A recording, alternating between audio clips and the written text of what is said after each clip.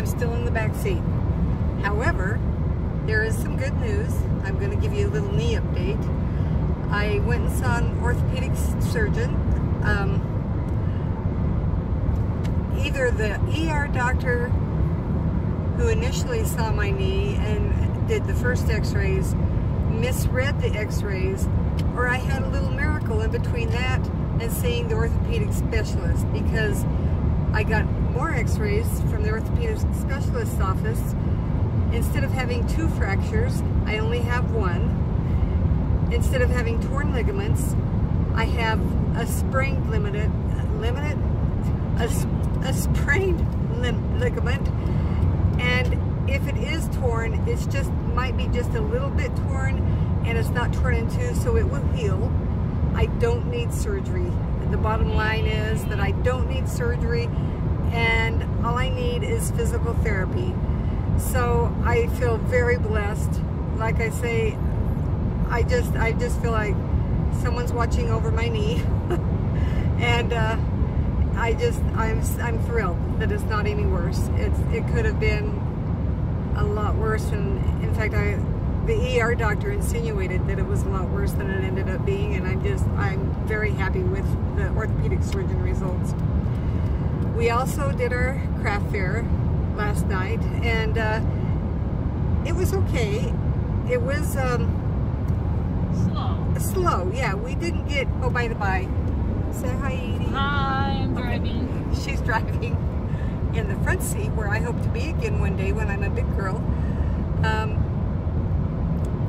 it was a little slow, but the lady in the booth next to us said that that's how this particular craft fair is. Sometimes some weeks it's slow, some weeks it's really good.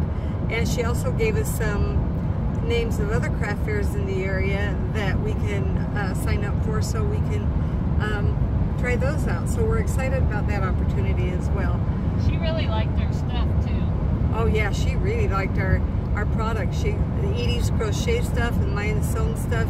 She even said, and I'm going to brag a minute right here, but she even uh, graduated from college with a degree in design, and part of the design courses was that you had to take some sewing courses. And she was looking, looking, man, I can't speak today. She was looking at some of the things that I have sewn, the purses and the makeup bags and, and those things. And she said, these are very good quality. So that was very nice to hear. Yeah, she even said she was sitting there staring at him for a while, wondering where we had purchased them from, because they look so professional we just make things, but that was for Sandy. She was really impressed with the sewing quality. I don't know if you heard what Edie said because she's not right by me. She's in the front seat driving. But she said that the lady at the booth next to us kept staring at, the, uh, before we actually started visiting a lot, she was staring at, at the things that I had sewn and wondering where we had bought them because they are um, looked really good quality to her. And, and no, we didn't buy them we make all of our stuff. Like the Edie crochets, I sew, and that's what we do, and that's what we love. So anyway, that was that was good news. We have another craft fair coming up in a few days, and uh, we're excited about that one as well. And we'll keep you posted on that. While we've been out of town, we have found out that that a huge rain hit our little town. So we're very excited about that as well. That will help Hopefully it got rid of the grasshoppers. Yeah, hopefully it got rid of the grasshoppers and hopefully it really helped the firefighters with the rest of the fire on the mountain. So, um, so there's good news on the knee, good news for the firefighters. Maybe when we get back home someday, we'll find out that there aren't so many grasshoppers in our yard. Um, and maybe our garden will even survive. And exactly, maybe we'll get some of our, I don't know about the things, oh, the melons last year were so good. I don't know if we'll get those, but we're still hoping and praying that the sweet potatoes and the onions and the carrots that grow underground will survive. And maybe even the other things will. Maybe we'll have a, another um, uh, growing, what's it called? Another, oh, a second a second sprouting of, of the of the melons and the um, oh the peas. Oh, the peas are so good. They were so good last year. It's like you just pull them off the vine. They're like candy. I know nobody will believe that, but it's Because candy is candy and peas are peas, but I don't care. But Still is like seriously, we would we would pick them off the vine in the backyard and stand there and eat them. Very few of them actually made it back into the house because we just they were so good, so sweet and, and good. And the zucchini, I really hope we get the zucchinis.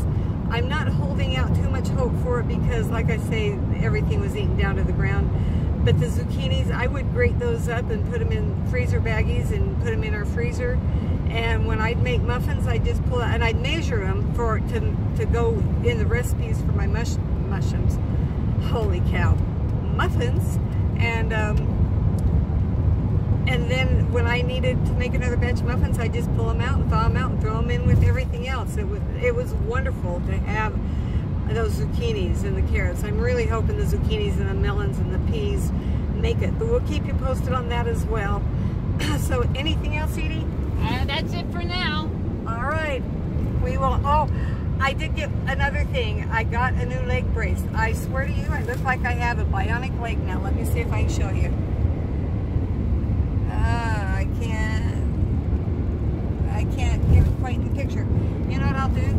I will take a picture of it and put it at the end of the video because it's it's a really cool brace and it's it's really sturdy and it allows me to bend my knee a little bit so that um, I can get back to to functioning at full throttle. So anyway, that is the update for now. We will keep you updated on everything else too, and we'll talk to you soon.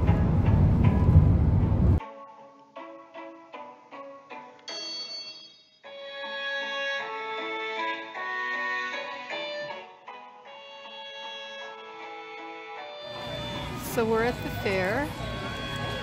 Just some things, some of the booths. No, look, there's Edie eating some freeze-dried fruit. And here's our booth.